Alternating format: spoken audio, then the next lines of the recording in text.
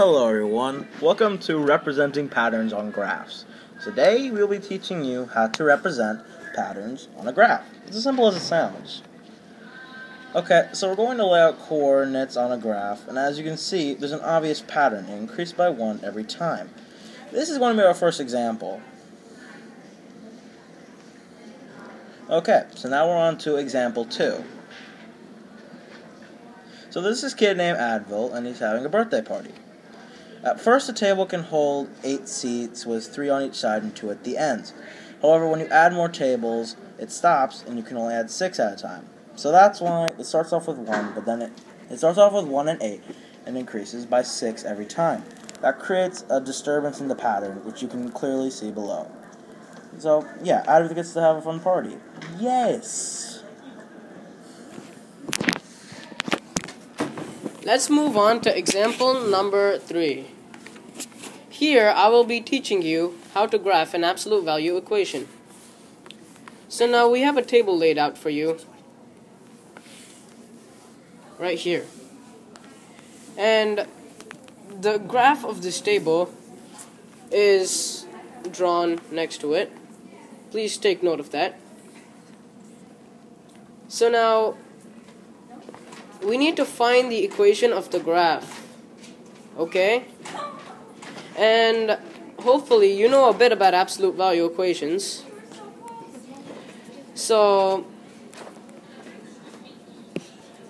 when there's an absolute value equation, we have to find the opposite of the x if it's a negative, right?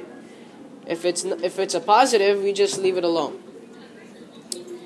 So when it says negative 6 for x and 6 for y, it, we're using this equation here.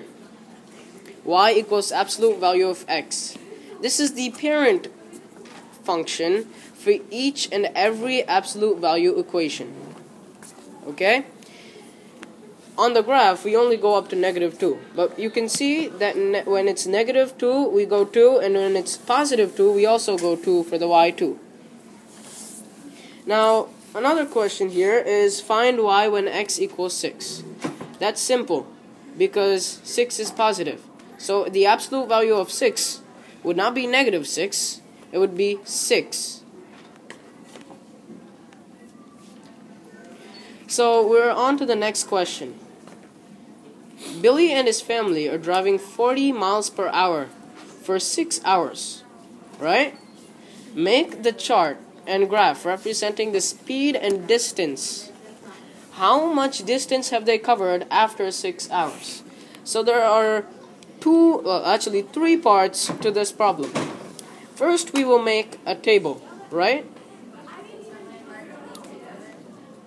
So, yeah when x equals 1, y equals 40. Because in one hour, they drive 40. Because in one hour, they're going 40 miles. Okay?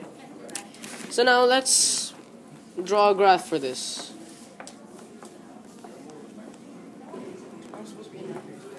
The graph looks like this. Ready? Here. And so using the graph, well, and the table, we know that they have covered 240 miles in 6 hours.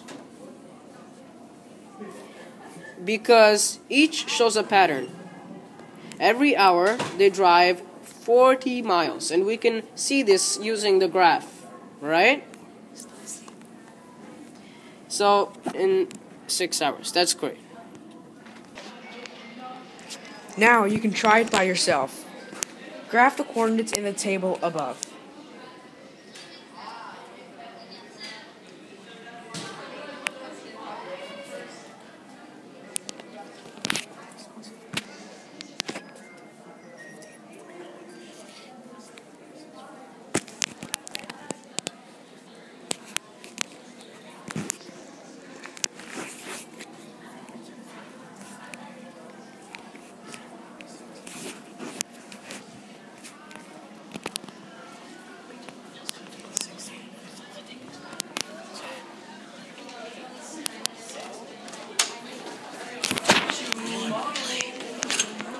Your graph should look something like this.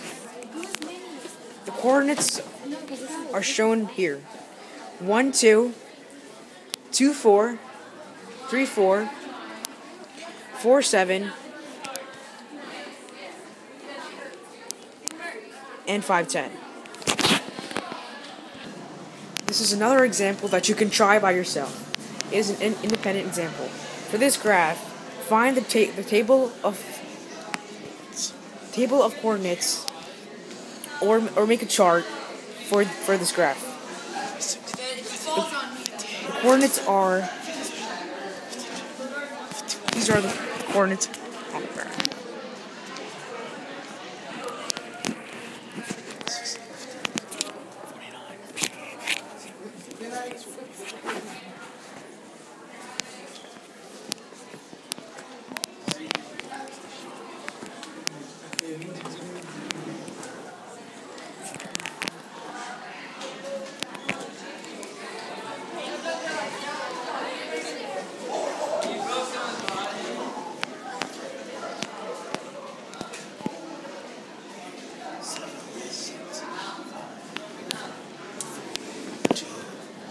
Go.